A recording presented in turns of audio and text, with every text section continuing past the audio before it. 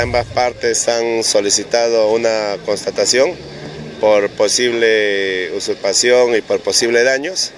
A ambas partes se les ha indicado de que traigan los documentos que sustenten la propiedad y es que es hasta el día de hoy que estamos esperando los documentos. Nosotros vamos a actuar de nuestras intervenciones con Ministerio Público, con Fiscalía de Prevención del Delito, para que puedan determinar los terrenos a quien le pertenece y poder llevar a cabo una investigación que pueda esclarecer este tipo de hechos. Ahora, la denuncia que hacen los, eh, en este caso las personas que se han visto afectadas, ¿lo hacen como, eh, digamos, eh, traficantes de terrenos, capitán?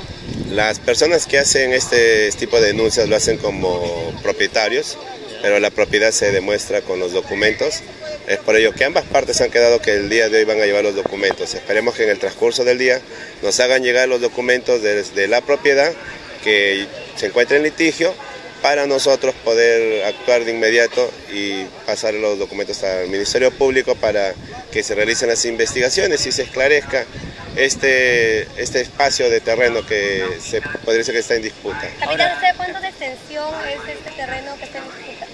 Dicen a un promedio de 30 hectáreas es la, extensión, pero no son los 30, las 30 hectáreas, sino es una parte nada más que viene a ser los linderos de, de este terreno. Ahora, capitán, de repente para evitar este, esta serie de conflictos, ¿usted va a solicitar la extensión total de los terrenos que tiene la comunidad campesina de Bocayama? Efectivamente, que las investigaciones seguramente se va a pedir y se va a solicitar cuál es la extensión de ambas partes, la extensión de la propiedad para que puedan determinar de quién, a quién le pertenece. E incluso seguro van a ir profesionales de lugar como los topógrafos, aquellos que hacen las misiones este, georreferenciales, para que puedan existir los puntos exactos. Felizmente no ha habido, digamos, alguna agresión física, nada que parezca, capitán.